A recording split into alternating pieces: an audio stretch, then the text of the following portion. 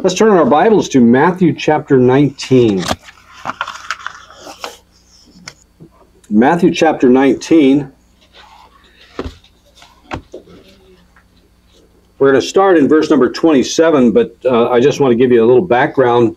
What Jesus had just dealt with is the, the man we call the rich young ruler. And the rich young ruler came to Jesus and asked him, uh, What do I need to do, basically, he said, to get into heaven?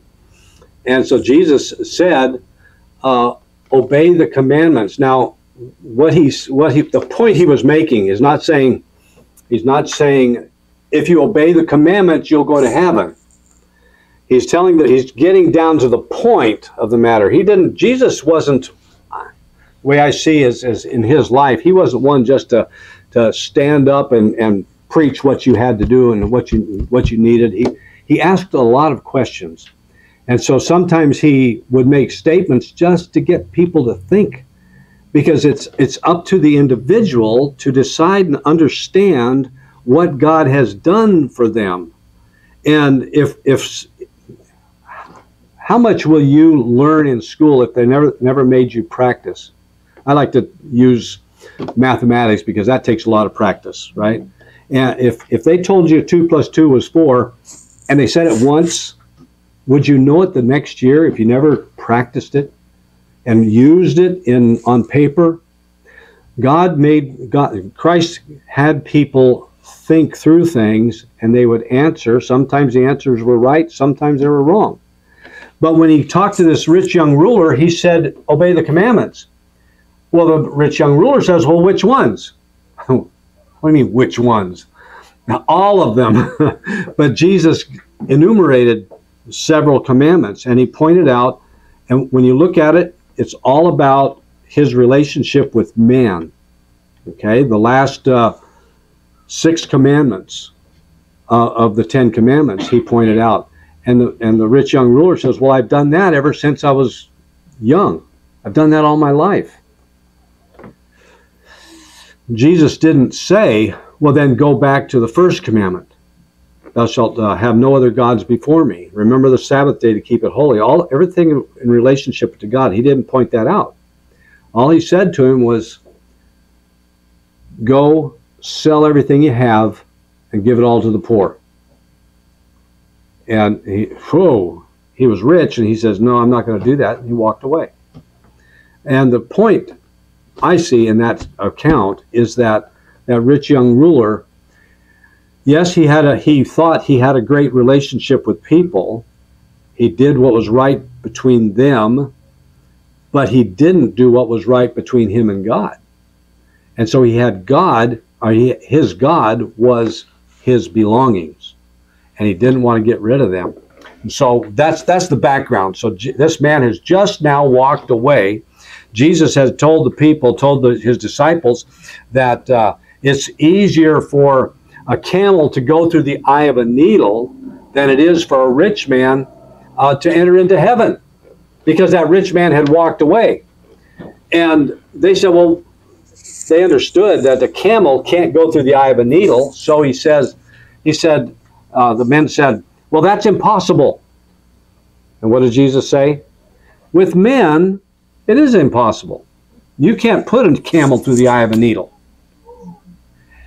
And he said, with men it's impossible, but with God all things are possible.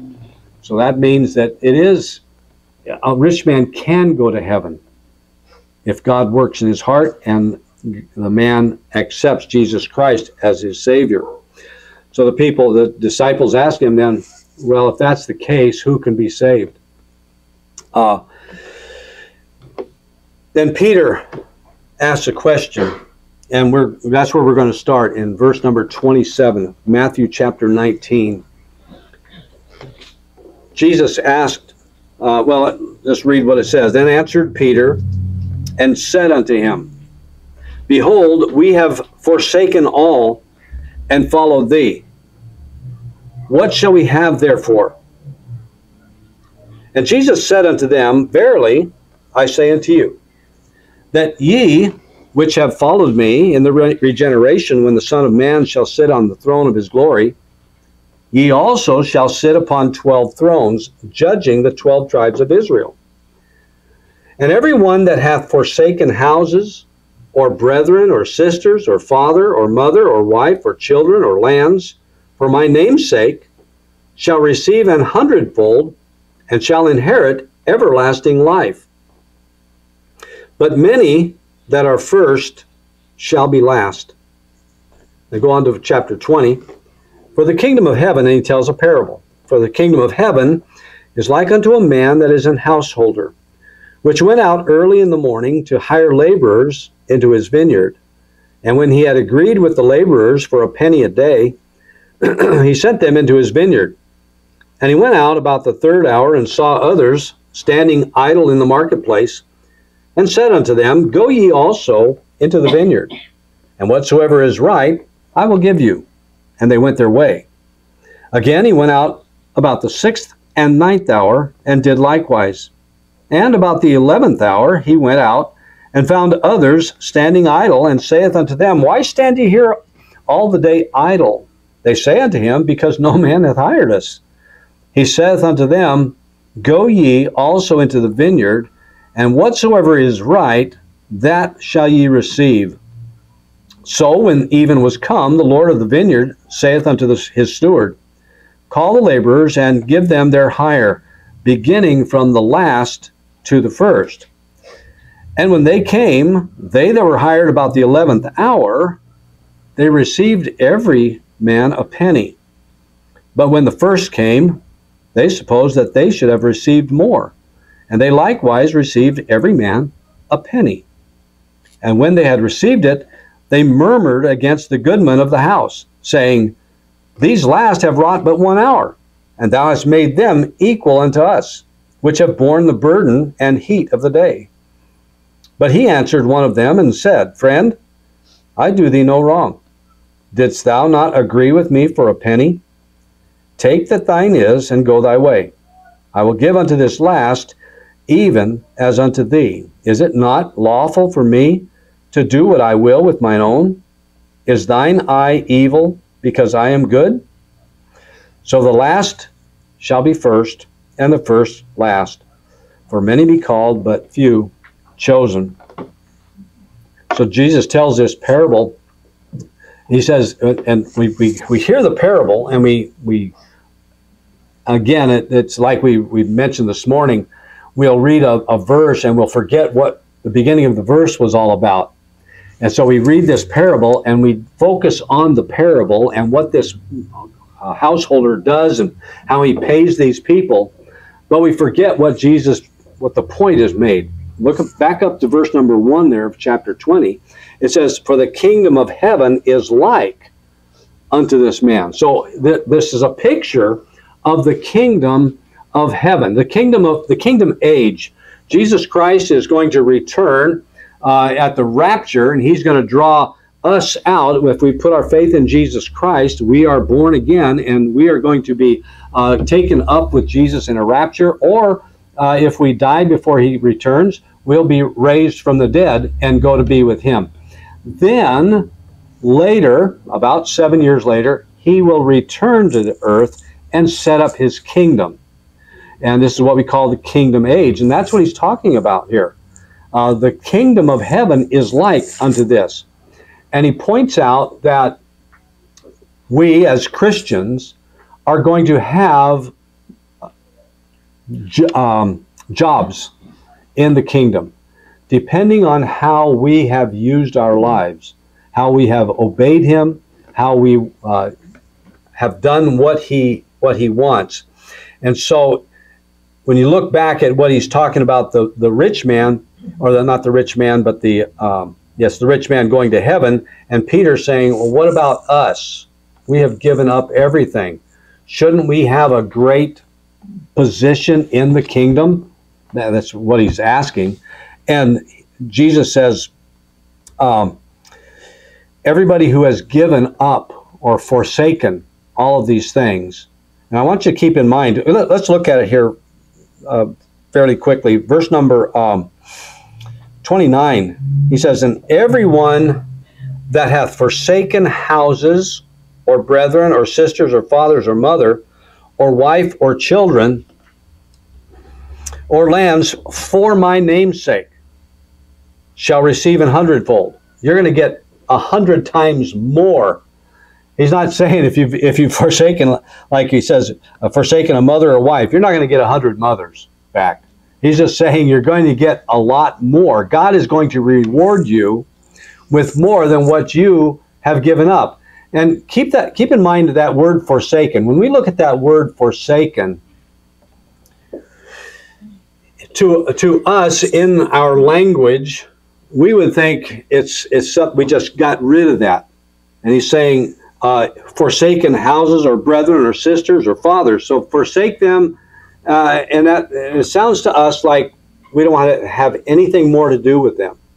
But that's not what it's talking about. That's not the word of the, the Greek that is being used here. The word that is used here in the Greek is a word that just means it is not taking as important a place. I, mean, I want to take you to, to, places where it's translated a little bit differently because uh, here that word is so, such a harsh word that we uh, are reading. Look over at Matthew chapter 4. Matthew chapter 4.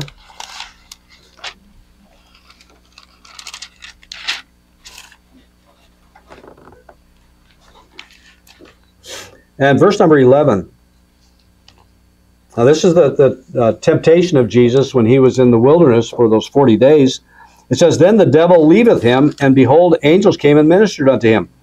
That word leaveth there uh, is the same word that we find forsaken. Now, when you think about the devil leaving Jesus here, did he ever come back? Did the devil ever come back to, to uh, tempt Jesus? Well, not that we not we don't see it, but he was around. He didn't just leave Jesus alone. He didn't want Jesus to do what Jesus was going to do. He didn't want Jesus to save people. So Satan tried to get him to stop whatever he was going to do. Satan never left Jesus totally alone. He never forsook him like we think of that word. He, he left him for a while. Uh, go over to Matthew chapter, well, chapter, look at verse 22 of the same chapter. Now, this is talk, talking about James and John, and they're with their father Zebedee. And when they started following Jesus, it says, and they immediately left the ship and their father and followed him. The word left there is the same word. They forsook the ship and their father. Do you think they ever went back to see their father? Sure, they did. They didn't forsake him and say, I don't want to have anything more to do with you. So, what Jesus is pointing, well, one more verse, and then we'll, we'll go on. Look at Matthew chapter 18.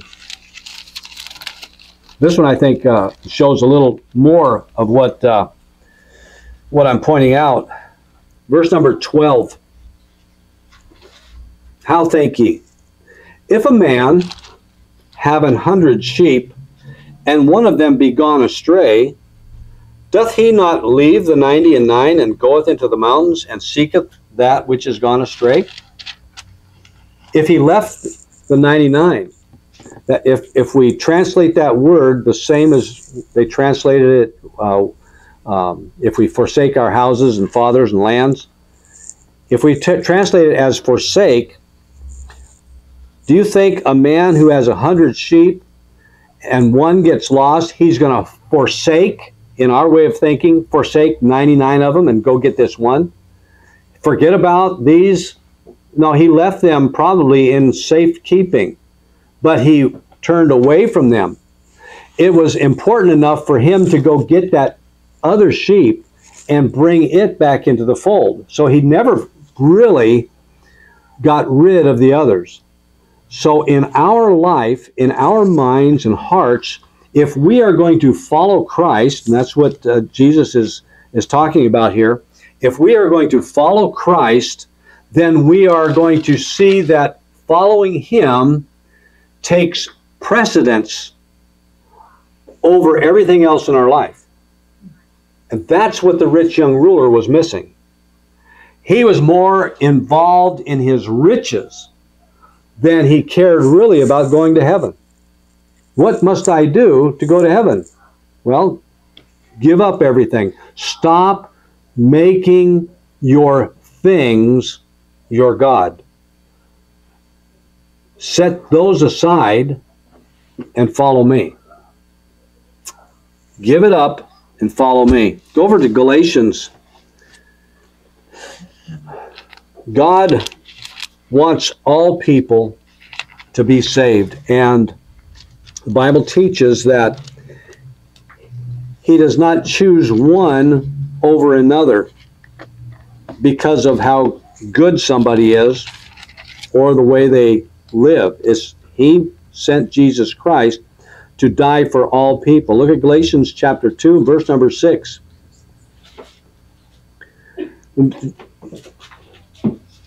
Paul says, But of these who seem to be somewhat, whatsoever they were, it maketh no matter to me, God accepteth no man's person.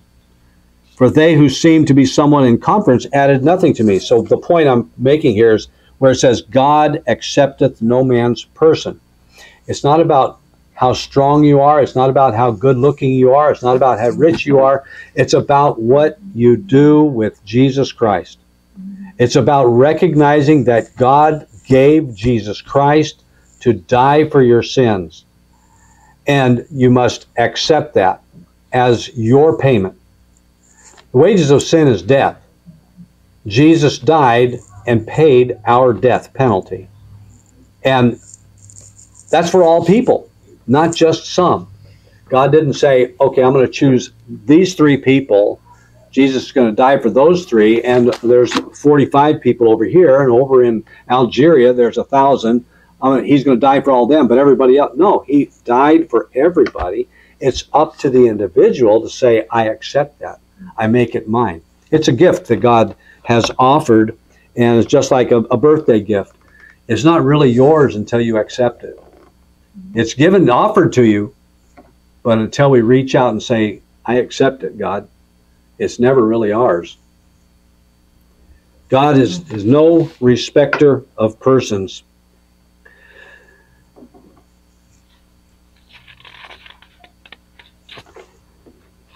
when a person puts himself, the person first, Jesus said he's going to be the least in the kingdom.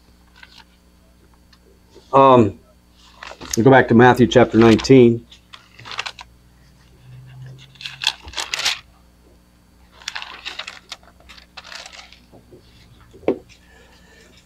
verse 30 he says many shall that are first shall be last and the last shall be first um, the point he's he's pointing out is humility giving up of ourselves recognizing that others are to be more important than we are now we don't go around feeding other people saying here and not feeding ourselves we do have things that we take care of but if it comes down to me sitting in front of somebody who's starving to death and i'm eating then my love for that person to say here you eat this instead of me. I can I can go away without it. But it's a, about seeing others more important than ourselves. That's what G- God said about love. Love God and love our fellow man. Those two important uh, concepts or laws uh, are what everything else hangs on. In Matthew 19 and verse number 29, he's telling us that the things we give up on earth are not anything compared to what God has to give us. That rich man, that rich young ruler, only thought of himself and what he could have out of this life here. Look at uh, Proverbs 22. The Bible tells us that wise men are prudent men. What's what's prudence? Well, let me let's read the verse and then we'll uh, we'll talk about prudence. Proverbs 22 and verse number 3. A prudent man foreseeth the evil and hideth himself, but the simple pass on and are punished. A prudent man is a wise man, but a wise man may not always be prudent. But prudence is looking ahead and seeing that my choices, my actions, uh, where I go, what I do, am I going to get harmed by that? Am I going to have trouble as I go? Uh, my mother-in-law used to talk about when she was a, a little girl. Uh, they had to when they were walking to school. They would walk through a field that had, I think it's a bull, wasn't it? And uh, the bull, she she wasn't really afraid of the bull. She was really little, but she'd cry so that her brother would carry her. She would she she saw ahead, only she wasn't she was being wise in the wrong way. Wise to say, I'm going to cry so brother will carry me. I just don't feel like walking.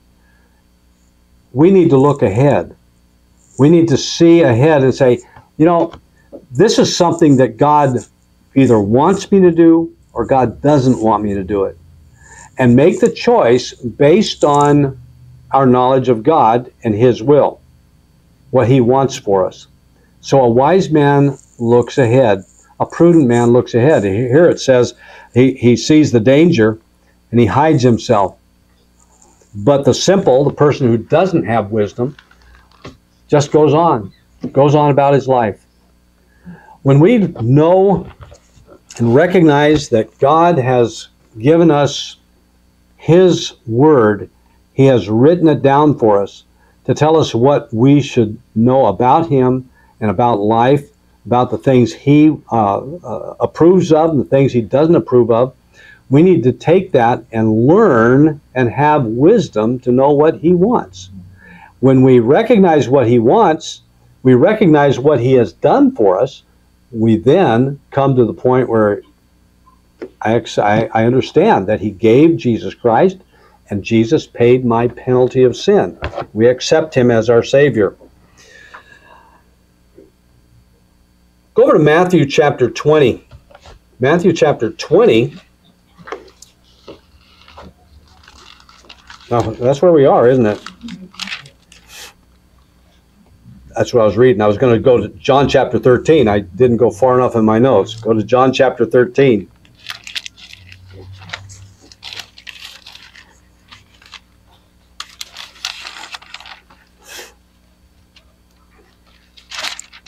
Now, Jesus said in Matthew chapter 19, the last shall be first and the first shall be last. And in John chapter 13, he's saying it he's saying the same thing in just a little bit different way.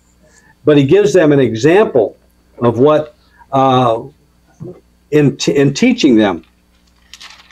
John chapter 13, look at verse number uh, 12. So after, this is the night he was betrayed, it says, after he had washed their feet and had taken his garments and was set down again, he said unto them, Know ye what I have done to you? Now let me point out the, the washing of feet was a, um, a standard practice during this time because they didn't have asphalt on their streets and they and they didn't wear closed-toed shoes they wore sandals so their feet would get dirty and when you go into somebody's house uh, usually the people didn't want you to have dirty feet. And so they would have a bowl and they would wash your feet when you go into the house. Or they would have a servant do it. And so here, Jesus got down and around that table, he washed the disciples' feet. Okay? Now we're talking about God in the flesh. We're talking about uh, the Messiah, and uh, they call him Lord. Look what he says uh, he says um, he washed their feet. Verse 13 Ye call me Master and Lord, and ye say well, for so I am. If I then, your Lord and Master, have washed your feet, ye also ought to wash one another's feet. Now, again, it's another thing we got to be careful here because some people take that to mean that we need to have we need to practice foot washing in the church. Now that's not what Jesus is pointing out. That's not what he's saying. Uh, and he's saying, listen, you, you need to have that attitude.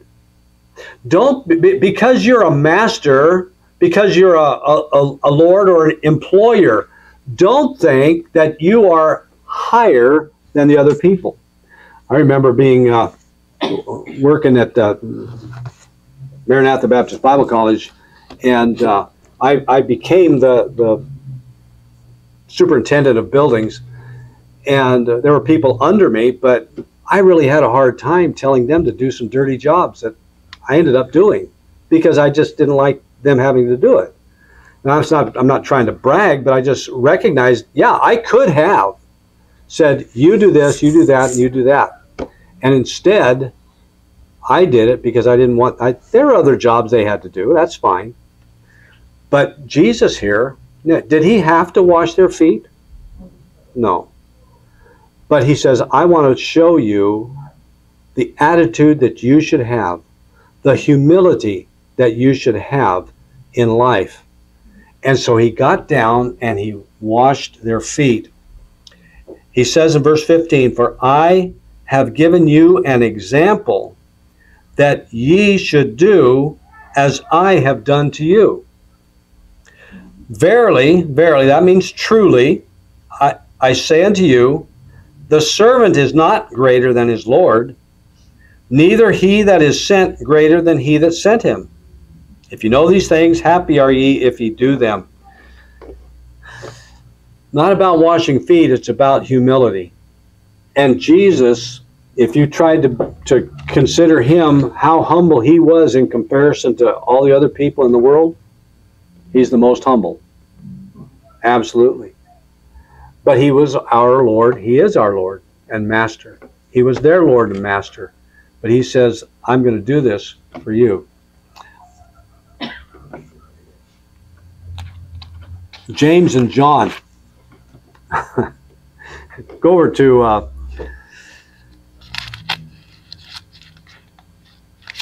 uh, let's see. Is it in? Is it in John? No, it's Matthew chapter twenty. So right after he tells the parable, it looks like, after Jesus talks about the, the parable of the, the man who went out and got these workers. By the way, you know, you look at this, uh, you think, when you read this account in verse chapter 20, today, and, and when we think about this, how many of us would work all day for a penny? No, I, I wouldn't, because a penny's not much. But this penny was a day's wage a normal day's wage. And so the people who came on the 11th hour, or 12 hours that people worked from 6 to 6 or so, uh, on the 11th hour would have been like 5 o'clock. They came and worked for one hour and they got a whole day's wage because the boss wanted wanted them to. The, the word for penny is, uh, is uh, actually where, where um, the Spanish word for money comes from. It was the Greek word, it's a denarion and so the Spanish word for money is dinero, right? But uh, so it's a, a, a regular wage. But we come to verse number 20, and it says that, that James and John and their mom come to Jesus. I, I, I see this and I think, didn't, didn't they even get the point that Jesus was making earlier? The first shall be last, and the last shall be first? Look what happens. Then came to him the mother of Zebedee's children with their son with her sons, worshiping him and desiring a certain thing of him. And he said unto her, What wilt thou? And she saith unto him, Grant that these my two sons may sit, the one on thy right hand, and the other on the left, in thy kingdom. But Jesus answered and said, Ye know not what ye ask. Are ye able, and he's talking to the men now, are ye able to drink of the cup that I shall drink of, and to be baptized with the baptism that I am baptized with? They say unto him, We are able. Now let me point out, he's not talking about baptism by water. He's, he's already been baptized. And he's sa- saying to them, Are you able to experience the same experience I'm going to have? Do you think you're able to be, and we know what happened to Jesus, Are you going to be able to be persecuted like I'm going to be persecuted? Are you going to have the same trouble as I'm having and go through it? Look what they said. They said, We are able, and he saith unto them, Ye shall drink indeed of my cup, and be baptized with the baptism that I am baptized with. But to sit on my right hand and on my left is not mine to give, but it shall be given to them for whom it is prepared of my Father. So God the Father is the one who's going to determine who is going to be Jesus' right hand man in the kingdom. It wasn't even up to Jesus at that time. And they're looking at, I want a position of importance in the kingdom. He says it's not about that. You, you need to have a humble heart. If you have if you are the least now, okay, you're going to be the greatest in the kingdom. But you've got to have the right humble heart today. You've got to be humble, seeking God's will. Last uh, week we looked at contentment. James and John seems like they are not content. They won't be, uh, if they're looking ahead at the kingdom, if they're not first and second or on the right hand and on the left hand, they're not going to be satisfied. We've got to keep in mind also as we as we look at life now and, and the things that come to us, thinking ahead of what God has for us, we've got to keep in mind, you know, even if I don't know what God has for me, I, I know it's better than here. It's better than now. It's also so good that I can't even imagine I don't have anything to worry about. God is going to give me exactly what I need, exactly what is going to be good for me. I have, I lost it. Um, go over to Luke chapter 14.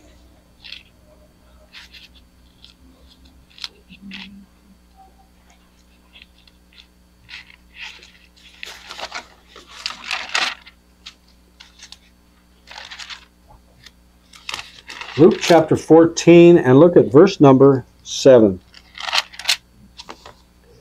And he put forth a parable to those which were bidden. Now he's, he's at a feast or a banquet. When he marked how they chose out the chief rooms, saying unto them, by the way, the chief rooms is chief positions on, at the table. I don't know if you remember the, the account of Joseph uh, when Joseph uh, Joseph's brothers came to Egypt from Canaan, and when when the servants sat them at their table, he sat them in order of their importance, according to their ages. And they thought, wow, that's weird. That's strange that they did that. That's the normal way they would sit at a table. So Jesus is looking at the people and how they choose their places at the table. and he saw that some thought they were important and they sat at the highest position. He says, When thou art bidden of any man to a wedding, sit not down in the highest room, lest a more honorable man than thou be bidden of him. And he that bade thee and him come and say to thee, Give this man place, and thou begin with shame to take the lowest room. But when thou art bidden, go and sit down in the lowest room, that when he that bade thee cometh, he may say unto thee, Friend, go up higher. Then shalt thou have worship in the presence of them that sit at meat with thee. For whosoever exalteth himself shall be abased, and he that humbleth himself shall be exalted. So consider yourself the least of anybody. And if if it's time, they'll be lifting you up. The Bible tells us, Peter and, and uh, James Humble yourselves. Well, let's look, look at it. Go to 1 Peter chapter 5. Humble yourselves in the sight of the Lord, and he shall lift you up. 1 Peter 5, verse number 6. Humble yourselves, therefore, under the mighty hand of God, that he may exalt you in due time. It's not, a, it's not for us. to exalt ourselves. It's not for us to lift ourselves up as being better or uh, more important than somebody else. It's up to God to do that. It's up to us to say, you know, I'm nobody. I'll do what what God wants me to do now because one day he will lift me up. Not that I'm going to be lifted up above other people so people can look at me. It's about my relationship with Jesus Christ. It's about being humble so he lifts me up. As I said earlier, we don't even understand uh, the, the goodness that we will receive if we humble ourselves, if we give up the things of this world and say, Lord, I want to be with you. I'm going to do what you want, do your will, and stay close to you. And everything in the, the world takes second place. Okay? Look at the uh, 1 Corinthians chapter 2. And he says you'll get a hundredfold. He's not saying literally, he's not talking about material even. He's talking about what the blessings are that you will receive are going to be so great that you won't know how to receive it. 1 Corinthians chapter 2, look at verse number 9. But as it is written, Eye hath not seen, nor ear heard, neither have entered into the heart of man the things which God hath prepared for them that love him you know what what can you see that God has that He's going to bless you with? I have no idea, but I know my God. I know my God, and He's a good God. He's not going to give me something that I'll be dissatisfied with. You know, and that's why I, I've heard people preach, men say, uh, in heaven, and this is what they, they talk about, in heaven, you'll see the great big mansion and you can see the, the, small house over here and all of these things. You say, well, who lives in that big mansion? Must have been a great preacher for the Lord. And, and they'll say, well, it turns out it's the, the old lady who couldn't even get out of her house, but she was a prayer warrior. So she's in the great, big, beautiful mansion. And over here is a, um, just a regular old house, and that's where the preacher lives. Not just a preacher, but a great preacher, evangelist, or something. You know, heaven's not like that. I don't see heaven as like that. In the kingdom, there's going to be levels of, of uh, uh, position. And that's what James and John were looking at, being the right hand or on the left hand. But heaven is, everybody's going to be the same. When, after, the, after the kingdom age and, and we go to be with Christ in heaven, there is no difference between people. Even Jesus said, uh, in the resurrection, uh, people are going to be like the angels, neither marrying or giving in marriage. There's, there's, they have a, we have a job to do. We have uh, something else that God has for us that we can't even see. We don't understand it, but we look forward to it because God is good. We need to keep doing right, keep on serving God because God will not forget what we've done for him. Go over to Hebrews chapter 6.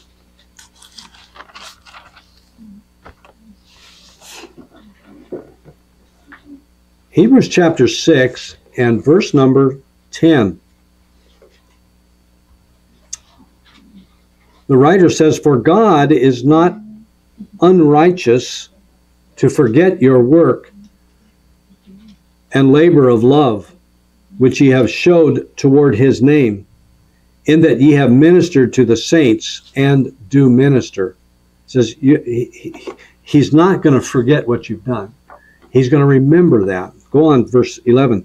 And we desire that every one of you do show the same diligence to the full assurance of hope unto the end, that ye be not slothful, but followers of them who through faith and patience inherit the promises. So God is going to reward us. Being humble in this life is going to bring more blessings later on.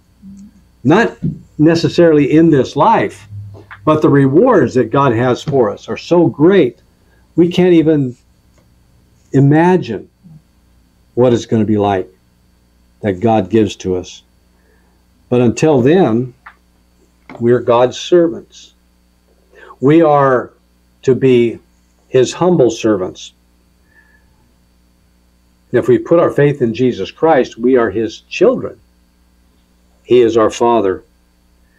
And remember that he's going to give us much more than we deserve.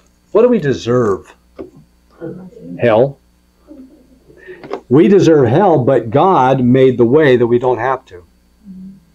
I read. I'm, I'm not going to. I'm not going to give you the example, but I did read an example of of what uh, uh, uh, of what God has done for us, and I thought it was beautiful. I'm going to share it with share it with you at some point, but not tonight.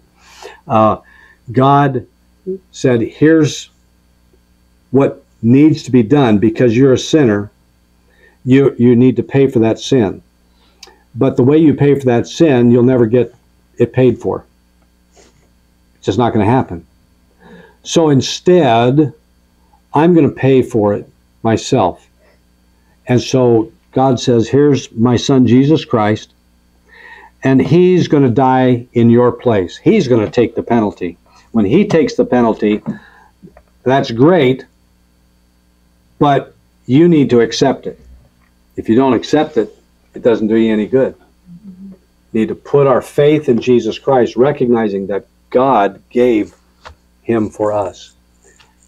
We are nothing. God, we are, I mentioned that in the song about we are that temple of clay. We are but dust. But God, in His love, says, I want you to be with me. And so, being nothing, that is a great privilege to know that God wants us to be with Him. But that's the only way we can go is through Jesus Christ. All right, let's have a word of prayer. Heavenly Father, we thank you for your word. And Lord, help us to see that our, our minds and hearts should be those of humble servants, servants of you and servants of others, to give of ourselves out of love, out of obedience to you Lord, help us not to try to get everything we can out of this life because this life is going to end and this life, the things of this world are going to burn up. But Lord, help us to have a focus on the future, everlasting life that you've promised to us through Jesus Christ. Thank you, Lord, for guiding us and directing us. I pray in Jesus' name, amen.